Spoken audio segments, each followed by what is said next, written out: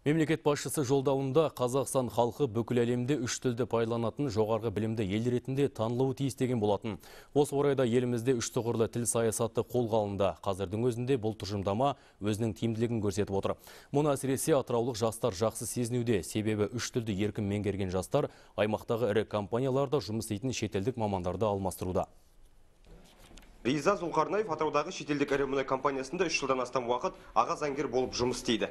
Оның айтуынша компаниядағы мұндай жауапты қызметке алынуына шетелден алған білімі мен үш тілді қазақ, орыс және ағылшын тілдерін жетік меңгеруі себеп болған.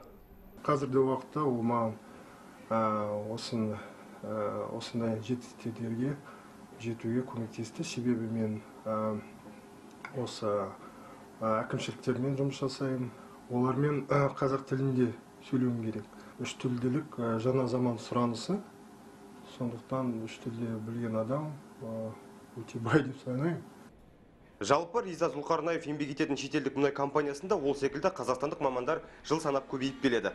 Мәселен, қазіргі уақытта бұл мекемеде қызмет ететін 13 мыңнан аса қызметкердің 80 пайыздан астамы қазақстандық мамандар. Мұндай үрдіс өңірдегі өзге шетелдік компанияларда байқалады. Человек, который знает аж три языка, бір ғана ағылшын тілін білетін шетелдік мамандарға қарағанда үш тілді еркін меңгерген қазақстандық мамандардың алар орны ерекше. Себебі бұл компанияға экономикалық жағынан тиімді деуге болады. Өйткені бұрын қаражат шетелдіктерге қажетті аудармашыларға кететін. Енді міне компаниямызда көбі үш тілде яғни қазақ орыс және ағылшын тілдерінде сөйлейді.